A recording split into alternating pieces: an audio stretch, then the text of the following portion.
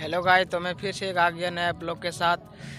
अब देख रहे हैं शहबाज ब्लॉग्स में बहुत दिन के बाद एक ब्लॉग बना रहा हूँ क्योंकि मेरा एग्ज़ाम चल रहा था इसी कारण मैं ब्लॉग बन, नहीं बना पाया। बहुत कमेंट्स आया था कि भाई आप ब्लॉग नहीं बना पा रहे हैं। तो मैं एक शॉर्ट क्लिप लेकर आया हूँ आप लोगों को दिखाने वाला हूँ कि ये जो नदी है यहाँ पे बहुत सारे पिकनिक मनाने के लिए आए हैं जो एक जनवरी के नाम से जाना जाता है। इसीलिए हम आज से हम ब्लॉग स्टार्ट कर दिए हैं। तो थैंक यू मिलते हैं आपको फिर एक नया ब्लॉग के साथ।